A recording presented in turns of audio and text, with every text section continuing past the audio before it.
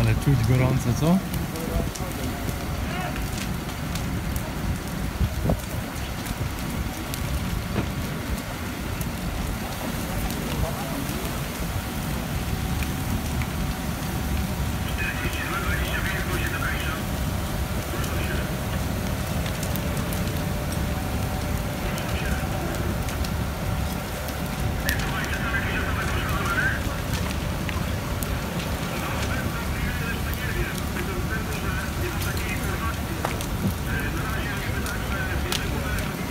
Co?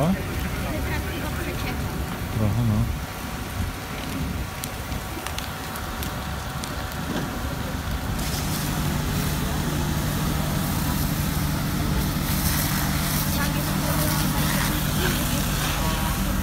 Apokaliptyczny.